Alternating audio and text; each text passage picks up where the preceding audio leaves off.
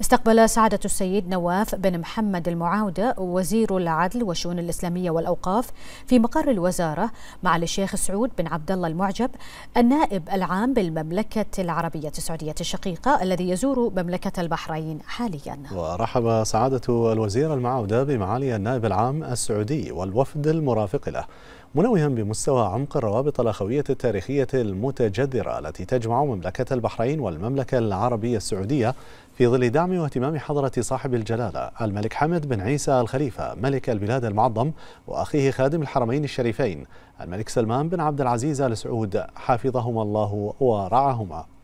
وأشاد سعادته بالتعاون القائم بين البلدين في المجال العدلي وما يشهده من تطور مستمر بما يعزز من تبادل الخبرات في مختلف المجالات العدلية وتضافر الجهود في مكافحة الجرائم المنظمة العابرة للحدود الوطنية. كما أطلع النائب العام السعودي على أبرز المشروعات التطويرية المنجزة والمبادرات الحديثة في المجال العدلي بمملكة البحرين ومن ذلك المرتبطة بالتحول الرقمي. وجرى خلال اللقاء بحث سبل تعزيز التعاون الثنائي في مجال تطوير آليات العدالة وتنسيق تنفيذ الإنابات القضائية ومكافحة الجرائم العابرة للحدود.